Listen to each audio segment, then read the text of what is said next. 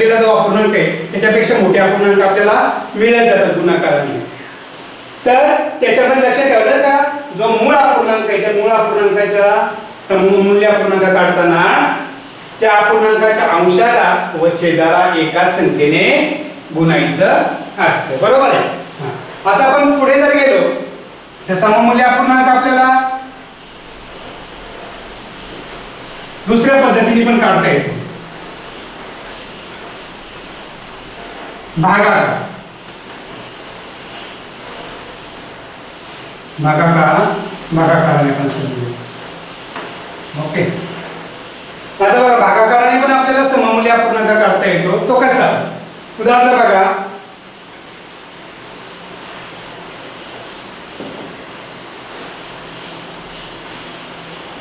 पंधरा अंश छेद तीस. हा काय दिलेला आहे एक अपूर्णांक दिलेले आहे अंश आणि छेद असलेले या अपूर्णांकाचा आपल्याला सममूल्य अपूर्णांक काढायचे. आपल्याला काय करायला लागेल? तर अशी एक संख्या शोधायची तर तिने वरच्या अंशाला पण आणि छेदाला पण काय केला पाहिजे? भाग गेला पाहिजे. मग आपण पाणी शिकलेलो किंवा आपल्याला कसोटी याच्या अगोदर माहीत आहे. बरोबर आहे? त्या कसोट्यानुसार जर विचार केला तर आपल्याला लगेच लक्षात येत आहे. त्याला कोणत्या येणार किंवा पंधरा कोणत्या पाड्यात येतो तीस कोणत्या पाड्यात येतो आपल्याला लगेच लक्षात येतो तर इथे बघा लक्षात येते आपल्याला का या मूळ अंशाला आणि छेदाला पाचने भाग जाऊ शकतो. तर पाचची कसोटी काय आहे? दोन तर जाऊ शकत नाही. दोनच्या कसोटीमध्ये शेवट ते अंक काय लागतात? शून्य दोन चार सहा आणि आठ यापैकी असतात. बरोबर आहे? तर इथे नाही. इथे पाच आहे. लगेच आपल्या लक्षात येतं. ज्या संख्येच्या शेवटी पाच असतो त्या संख्ये पाच आणि शून्य असतो त्या संख्येला पाचने काय जातो भाग जातो. म्हणजे या पंधराला कशाने भाग जाणार आहे आता? पाचाने भाग देऊन बघू आपण. मग जर पंधराला पाचाने भाग दिला तर तिसाला सुद्धा तर तिसाच्या शेवटी शून्य आहे म्हणजे तिसाला सुद्धा पाचाने भाग जातो. तर पंधरा भागिले पाच बरोबर किती येतात? पाच एके पाच पाच दोनदा पाच त्री पंधरा तीन येतात.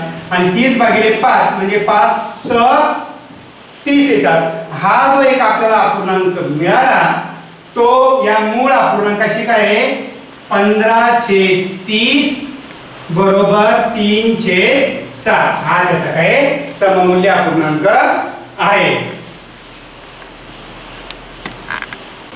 लक्षात आलं? म्हणजे पंधरा अंश छेद तीस हा जो अपूर्णांक होता या- अंश पंधरा आणि छेद तीस या दोघांना एकाच संख्या. जीवनदीप कॉलेज खर्डी जीवनदीप शैक्षणिक संस्था संचालित कला वाणिज्य आणि विज्ञान महाविद्यालय खर्डी दळखन तालुका शहापूर जिल्हा ठाणे चारशे एकवीस सहाशे एक मुंबई विद्यापीठाशी संलग्न आय एस ओ नऊ हजार एक दोन हजार पंधरा. महाविद्यालयाची वैशिष्ट्ये अनुभवी आणि तज्ज्ञ शिक्षक शिष्यवृत्तीची सुविधा स्पर्धा परीक्षा प्रशिक्षण केंद्र अद्ययावत प्रयोगशाळा आणि संगणक कक्ष ग्रंथालय आणि वाचन कक्षाची सुविधा जॉब प्लेसमेंटची सुविधा संपूर्ण परिसर सी सी टी व्ही निगराणीखाली खर्डी स्टेशनपासून महाविद्यालयापर्यंत बस सेवा उपलब्ध. मुलांचे आणि मुलींचे शासकीय वसतिगृह ऑनलाईन ॲडमिशन व ऑनलाईन लेक्चरचीही सुविधा. ऑनलाईन ॲडमिशन आणि ऑनलाईन लेक्चरची देखील सुविधा. उज्ज्वल भविष्यासाठी आजच आपला प्रवेश निश्चित करा. शैक्षणिक वर्ष दोन हजार वीस दोन हजार एकवीस मर्यादित जागा प्रवेश सुरू. F Y online admission centre email Jeevandeep Khardi at the rate Gmail dot com website W W W J S P college Khardi dot in.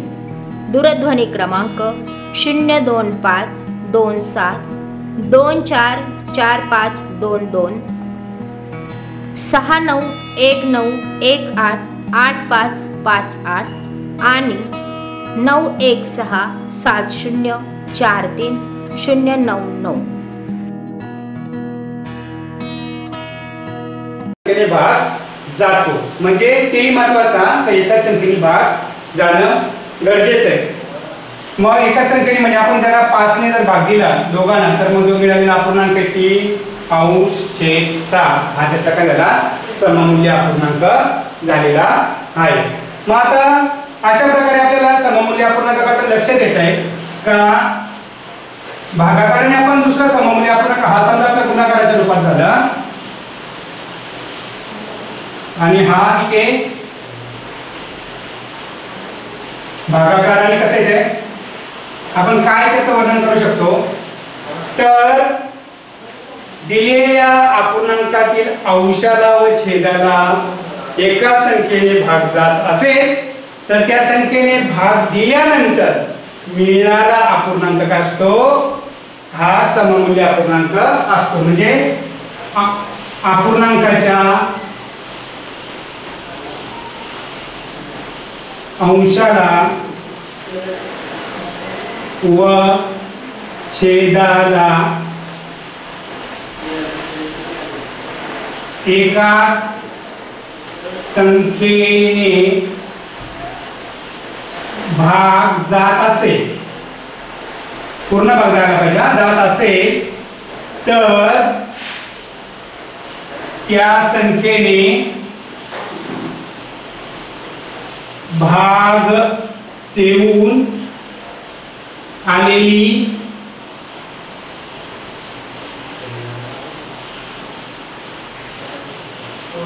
आलेली संख्या किंवा आलेला अपूर्णांक म्हणूया आपण. येऊन आलेला तर अपूर्णांक येणार आहे तो भाग दिल्यानंतर आलेला अपूर्णांक सममूल्य असतो.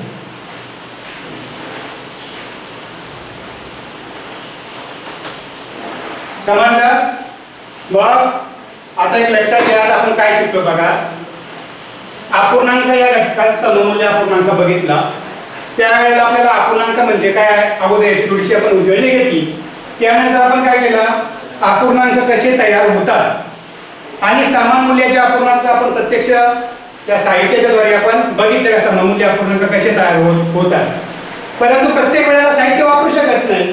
मग सममूल्य अपूर्णांक तयार करण्यासाठी आपल्याला काय करावं लागत आहे दोन पद्धती आपल्याला वापरून सममूल्य अपूर्णांक तयार करता येतो. एक गुणाकार पद्धतीने आणि एक दुसरी भागाकार पद्धतीने. गुणाकाराने आपण काय बघितलं? तर दिलेल्या अपूर्णांकाच्या अंशाला आणि छेदाला. एकाच संख्येने जर गुणले. आता तिथे एक संख्या लक्षात मगाशी बोलताना माझं राहून गेला सांगायचं मला शून्य सोडून शून्य नको त्याच्यामध्ये. शून्य सोडून कोणत्याही संख्येने गुणलं. मग एक गुणा दोन गुणा. हा तीन गुणा कोणत्याही संख्येने पुढे गुणा. मग त्या संख्येने अंशाला आणि छेदाला मात्र त्या संख्येने गुणल्यावर आपल्याला काय होतो? जो अपूर्णांक मिळतो तो कसा असतो? सममूल्य अपूर्णांक असतो.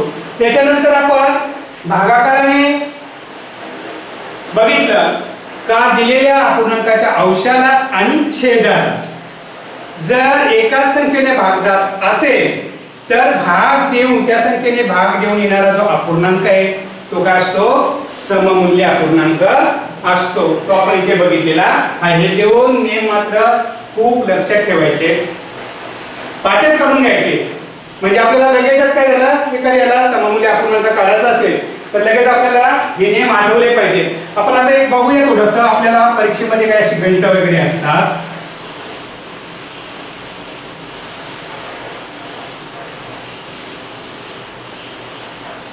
आणि पुढे दिलेलं असतंय अशी चौकट आहे. आणि म्हणजे आपल्याला अंश विचारलेले आणि इथे दिलेले छेदस्थानी बत्तीस. आता एक लक्षात घ्या. इथे मध्ये बरोबरचं चिन्ह आहे. याचा अर्थ ते काय आहे?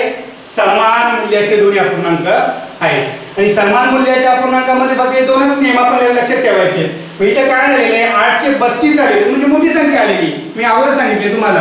दिलेल्या अपूर्णांकापेक्षा जर मोठा अपूर्णांक म्हणजे मोठी संख्या काढायची असेल आपल्याला तर आपण काय करतो? गुणाकार म्हणजे पट करतो. मग इथे या आठ ची किती पट केली? म्हणजे आठला कोणत्या संख्येने गुणलं?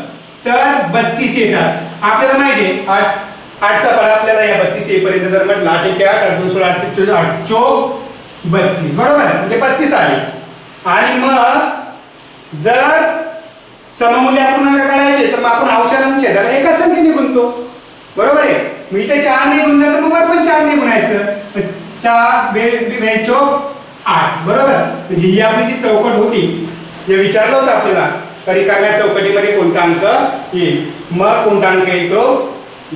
जसं अंशस्थानी काढता येतो तसं समजा दुसरं उदाहरण पण आपल्याला इथे करता येईल. म्हणजे कोणतं पण करता येईल. आता आपण भागाकाराचं घेऊया.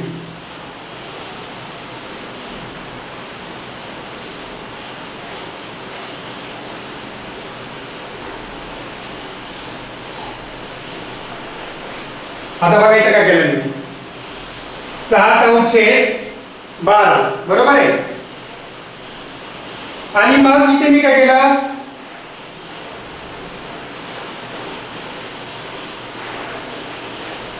चौऱ्याऐंशी लिहिलेले. किती लिहिलेले? चौऱ्याऐंशी लिहिलेले. आणि इथे काय केलेलं? आहे आपल्याला रिकामी चौकट दिलेली. आहे बरोबर आहे? आता एक लक्षात घ्या.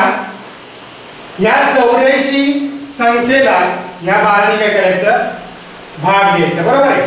चौऱ्याऐंशी संख्येला काय करायचं? बाराने भाग द्यायचं मग बारा एके बार घेऊया प्रत्यक्ष आपण. चौऱ्याऐंशी भागिले समजा बारा. बारा एके बारा बारा दोन चोवीस बारा ते छत्तीस बारा चौका चाळीस बारा पंचवीस बासष्ट बहात्तर बारी सती चौऱ्याऐंशी. बारी सती चौऱ्याऐंशी. म्हणजे या चौऱ्याऐंशीला कितीने भाग दिला आपण? सातने. बरोबर आहे? मग आता इथे पण असंच करायचं. कोणत्या संख्येला सातने भाग दिला तर हे सात येणार आहे. कोणत्या संख्येला सातने भाग दिला तरी सात येणार आहे. माझा बघा म्हणजे त्याचा आता काय? बाराचा पाडा आपण चौऱ्याऐंशी पर्यंत बोलत होतो किती बारा एके बार बारा दोन चोवीस बारा तीन छत्तीस बारा चौक अठ्ठेचाळीस बारा पंचसाठ बासष्ट बहात्तर बावीस चौऱ्याऐंशी. म्हणजे सात अंकापर्यंत आपण बाराचा पाडा असं बोललो होतो ना. मग तसंच सात या सातचा पाडा सात अंकापर्यंत पुढे बोलत जाऊ आपण. बरोबर आहे? सात एके सहा सात दोन चौदा सात एक एकवीस सात चौक अठ्ठावीस सात पत्ता पस्तीस सात सकम बेचाळीस साती साती एकोणपन्नास. म्हणजे इथे येणारा संख्या आहे. येणारी संख्या कोणती आहे? एकोणपन्नास येणार आहे. म्हणजे काय केलं आपण? जर एकोणपन्नास या संख्येला आपण सातने भागलं तर काय येणार आहे? हा सातचे येणार आहे. बरोबर? काय येणार आहे. जसं इथं बारा आली तसं इथं काय आले सात मूळ अपूर्णांक आलेले म्हणजे लक्षात घ्या कधी कधी आपल्याला भागाकार करताना भागाकार आणि गुणाकार एकमेकांच्या विरुद्ध क्रियेत त्या आपल्याला सपोर्टेड पण करता येतात. म्हणजे इथं आपण काय केलं? इथं प्रत्यक्ष एकोणपन्नास शोधताना आपण काय केलं? तर या बाराचा आणि चौऱ्याऐंशीचा संबंध लावला. बाराची सात पट घेतली हो चौऱ्याऐंशी येतात. म्हणून सातची सात पट घेतली. तर ती आली एकोणपन्नास आली अशा प्रकारे आपण काय करू शकतो? भागाकाराने आणि गुणाकाराने सममूल्य अपूर्णांक शोधू शकतो तयार करू शकतो. मग आता हा भाग समजला असेल तुम्हाला तर तुमच्या पुस्तकामध्ये पान क्रमांक